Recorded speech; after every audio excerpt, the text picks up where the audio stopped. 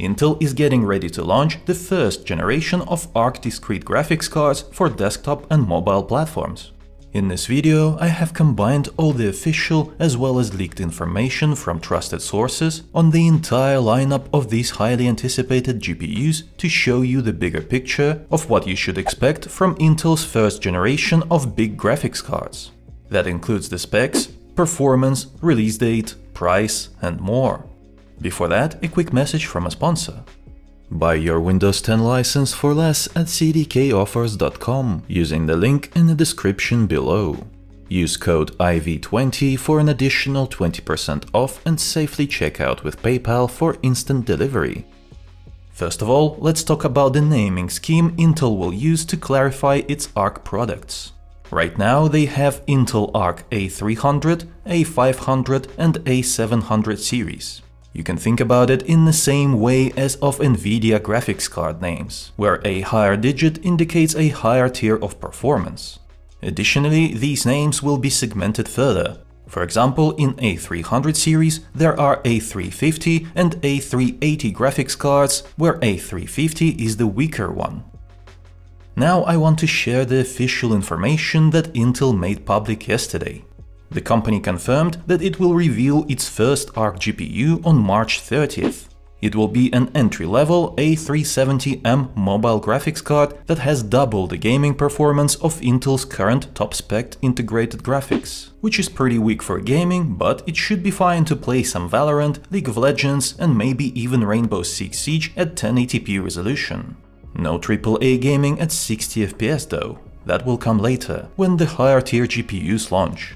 The fact that Intel is teasing its low-end Arc GPU instead of a high-end tells us that those are not ready for launch just yet. But I do have leaked information about the upcoming Arc desktop graphics cards, so let's check it out. There will be at least 5 desktop Arc graphics cards built on TSMC 6nm node. A350 is the weakest in the stack, it will have 96 execution units and 768 shader processors with 4GB of GDDR6 memory across a 64-bit bus. In terms of performance, I expect it to be around GTX 1050 Ti level, meaning that it will be okay for some light games like Valorant and CSGO at 1080p, but not good enough to play any modern AAA titles comfortably.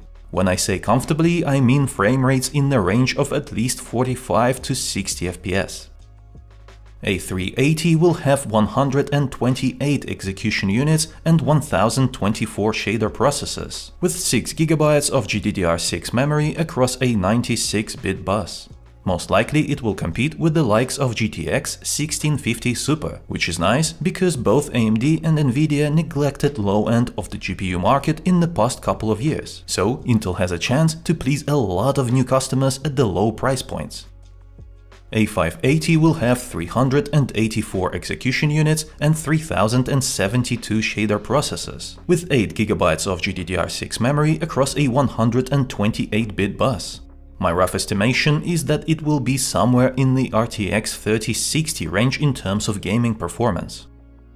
A770 featuring 448 execution units and 3584 shader processors with 12GB of GDDR6 memory across a 192-bit bus should be able to compete with RTX 3060 Ti or even 3070.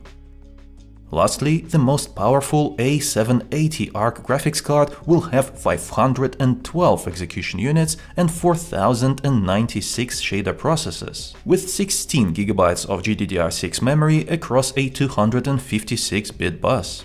According to the latest leaks, it is expected to perform somewhere in the range between RTX 3070 and 3080.